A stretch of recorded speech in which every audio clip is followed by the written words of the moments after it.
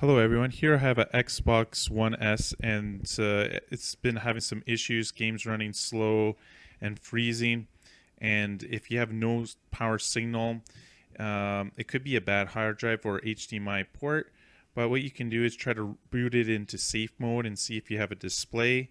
So to boot in safe mode hold the connect button and the eject uh, button for the CD drive and also the power button at the same time this will get into standby mode and then see if you're getting an image. Um, if this doesn't work, we will have to open this up. And I think the first thing that I would do is just to remove the hard drive because one of the boot up sequences is, is detects if there's a hard drive. And if you have a failing hard drive, um, it will just have a black screen. So if you have a black screen, um, I would just open it up by going around the bottom, the black uh, case kind of has little clips around it.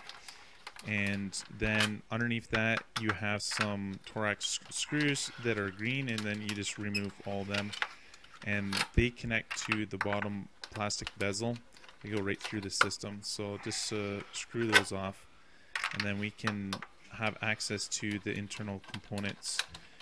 I'm just using ice cube tray to keep my screws safe and uh, organized and that seems to work well with all my repairs. Flipping it over, the top, this plastic kind of peels right off and then you have the access to inside. You can see that this one is it is dirty, so it's it's a good idea to open up your Xbox once in a while.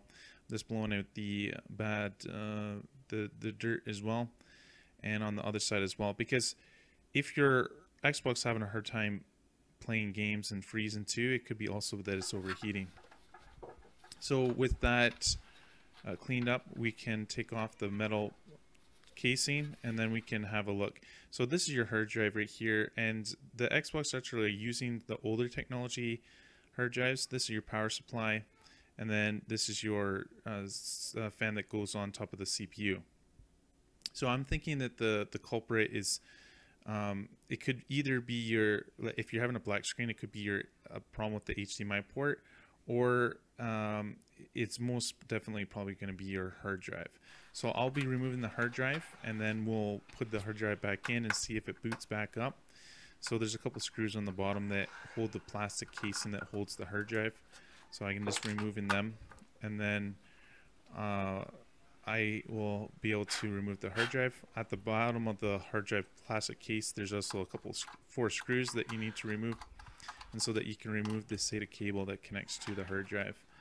So with those, when I get those four screws off, there's this actually a little plastic uh, bottom case that I can, with that removed, you can actually pull off the SATA connector. Now, you can upgrade your hard drive there to the SATA uh, hard drive. It's a one terabyte there, but it's uh, more expensive. But this hard drive has been failing. I did connect it to my computer um, and I tried to reconnect it to see if it's going to boot. And after reconnecting it, did go through prepare the console there, but uh, it opened up the um, the safe. Uh, basically, something went wrong. If you go into troubleshooting, I did go into a reset and try to keep everything, and and nothing nothing was working.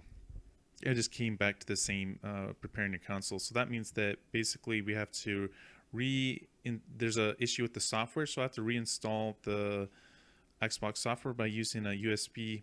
You need about like a, a 10 gigabyte.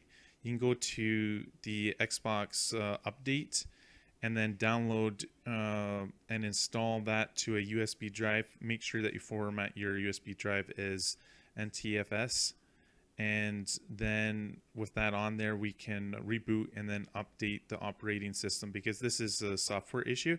It could also be that the hard drive over time does uh, it maybe is failing but this will get it backing up. And if you still have issues it's probably recommended to uh, upgrade your hard drive but uh, I was able to get it going again when I reinstalled that uh, and then I you'll just sign back into Microsoft and um, the hard drive uh, is working uh, again and we can re-sign in with Microsoft and install the, the games.